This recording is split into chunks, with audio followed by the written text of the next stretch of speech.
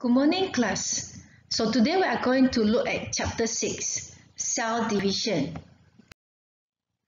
The content standard for this topic 6.1 cell division, 6.2 cell cycle and mitosis, 6.3 meiosis, and the last subtopic issues of cell division on human health. So class, we look at 6.1 cell division. The learning standard for this subtopic. At the end of this subtopic, you should be able to describe karyokinesis, which is the nuclear division, cytokinesis, cytoplasmic division. And you should be able to describe the terms haploid, diploid, chromatin, homologous chromosome, paternal chromosome, and maternal chromosome. The cells in our body always grow, divide and die. The dead cell must be replaced with the new cell. So the question is, how does an organism produce a new cell? Yes, very good. It is through cell division.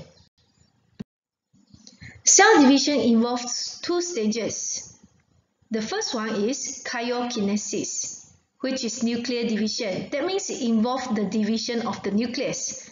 Then cytokinesis, which is the cytoplasmic division, involves the division of cytoplasm. So during cell division, the nuclear division occurs first. That means the nucleus will start to divide into two. Then followed by cytokinesis. After cytokinesis, the new total cell will produce.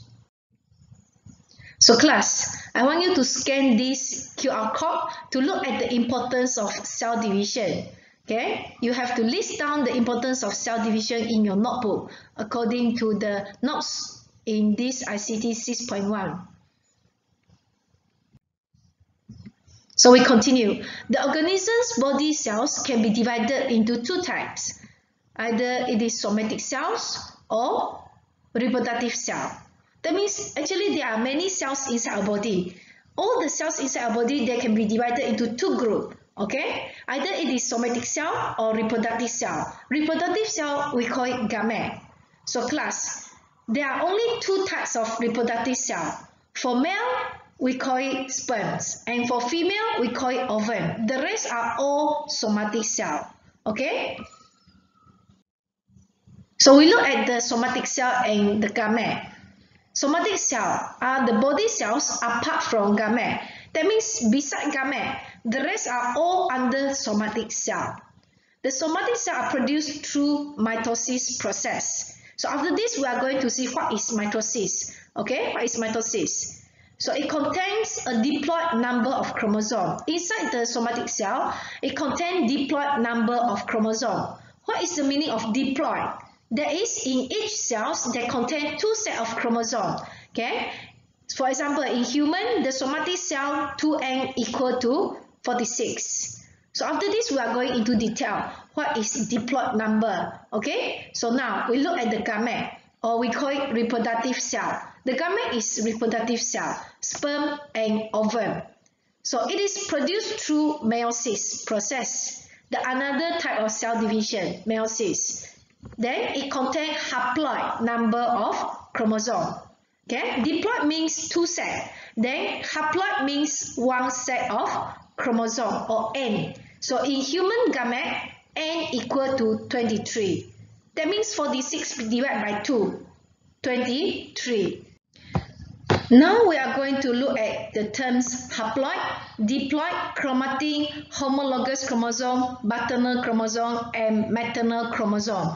We must understand these terms before we go into detail the type of cell division. Now we look at diploid, paternal, maternal chromosome. The diploid cells contains two set of chromosome, or we call it 2N. Okay, diploid number of chromosome. That means one set of chromosome originate from the male parents, our father, we call it paternal chromosome, and another set of chromosome is come from the female parents, our mother, or we call it maternal chromosome. What are the example of diploid cell class? For example, human somatic cell. The somatic cell, for example, the liver cell, epithelial cell, white blood cell, nerve cell, and the muscle cell, they are all diploid cell. That means inside the nucleus of this cell, they have two set of chromosome. So you look at this picture. This is the human skeletal muscle cell, nerve cell, epithelial cell, and this is the white blood cell. They are all diploid cell. Okay, you look at this picture. There are how many chromosomes in this cell? Very good. We have one, two, three, four. Four chromosomes. So 2n equal to 4. This is a diploid cell. The red color chromosome come from the father. The blue color will come from the mother, okay, which is the maternal chromosome. Haploid class. Haploid cell contain one set of chromosome. So it is different from the diploid. Diploid D means two. Haploid half means only one set of chromosome. Or we can say N. N means the haploid number of chromosome. The example are human gamete and the sperm or egg, or we also call it ovum. So the human gametes are haploid gamete. That means they only contain one set of chromosome. So this is the human sperm and the human ovum.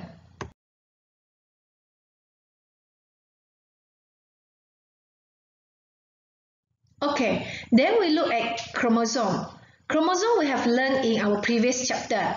The last part of our previous chapter, the nucleic acid. We learned how the chromosome is formed. It is formed from a polynucleotide chain which wrap together, the DNA wrap together with the protein called histone. Okay, called histone to form the nucleosome. Nucleosome continue to coil to form the chromosome and it is found in so we look at the homologous chromosome class. Homologous chromosome are chromosome pair. That means a pair of chromosome that consists of a paternal chromosome and a maternal chromosome. That means it's a pair of chromosome which made up of the chromosome from the father and the chromosome from the mother. Okay, we can see this is one pair of homologous chromosome. So if the red color is come from father, the paternal chromosome, then the blue color will be come from mother, the maternal chromosome. So this is another pair of homologous chromosome. Okay, so this is if this is come from father, the paternal chromosome, then this one should be maternal chromosome. So why do we call it homologous chromosome? The homologous, homologous chromosome, they have the same structural characteristic. That means they are similar in length. Then the centromere location is the same and also the gene position are the same. So you can see here there are three set of homologous chromosome. Okay, the three set of homologous chromosome here they have the same length, the same length And what we can see from the diagram is the centromere position are the same. The location of the centromere are the same. So we have three set of homologous chromosome here. So class, this is our human male karyotype. You look at the karyotype, you can see the homologous chromosome are arranged from the longest to the shortest, number 22. Pair number 23 is our sex chromosome, XY or XX. XY for male, XX for female. So you can see the first pair of homologous chromosome, they the same length. The position of the centromere is the same. Okay, so during the exam, if they ask you to arrange the homologous chromosome, always pair up the chromosome which has the same length together. They are homologous so there are how many pairs of homologous chromosome? Class, this picture show how many pairs of homologous chromosome. Yes, there is no homologous chromosome here. Okay, there are only three chromosomes without pair. Okay, so a copy of each set of chromosome, it is haploid. It is haploid. So according to this diagram, n equal to what? 1, 2, 3.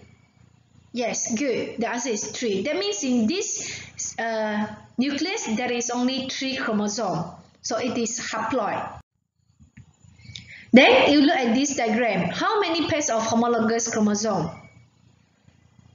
Very good. There are three pairs of homologous chromosome. Okay.